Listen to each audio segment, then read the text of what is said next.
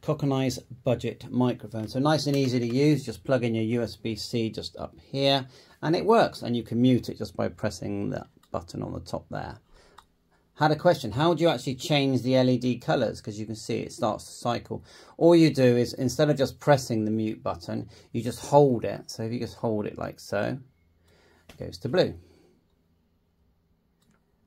And there you go. You've got a different few options there. And that's it. That's my understanding of how you can change colours. If you just touch, it goes black, see?